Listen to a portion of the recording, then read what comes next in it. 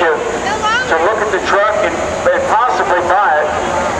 And uh, I, I announced that during the show that the buyers were there from Pennsylvania and that bad news travels fast may be sold. Brandon and his dad heard that, went down and talked to Bruce and Jamie and told them, they said, you know, if